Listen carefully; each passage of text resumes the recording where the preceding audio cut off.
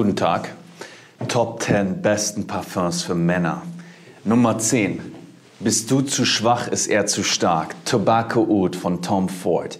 Dieser Duft ist eine Granate, wenn es darum geht, Haltbarkeit zu demonstrieren, Power zu haben. Dieser Duft hält ewig und er erzeugt auch gleichzeitig negative Reaktionen, wenn du diesen Duft nicht vertreten kannst. Ein sehr polarisierender, starker Duft auf der Nummer 10.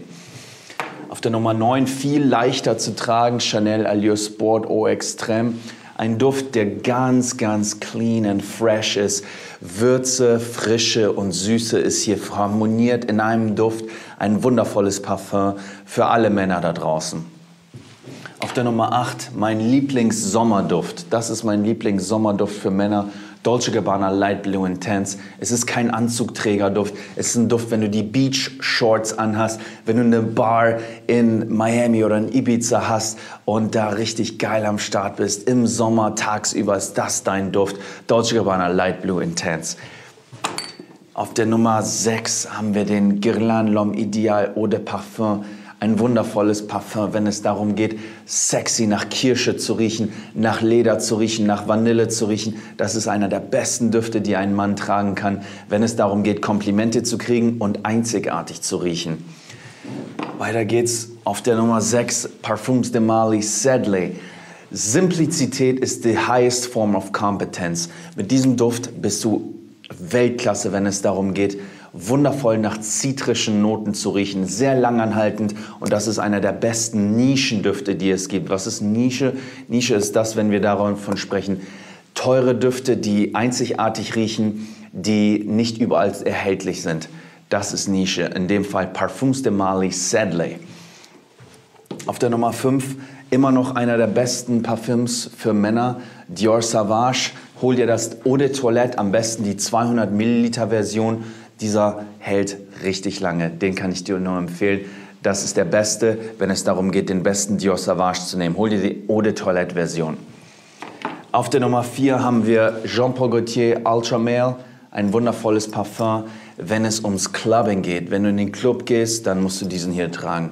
Richtig geiles Parfum, riecht nach Birne, riecht nach sexy Vanille und nach der Jean-Paul Gaultier DNA. Richtig geiles Parfum, Komplimente ohne Ende.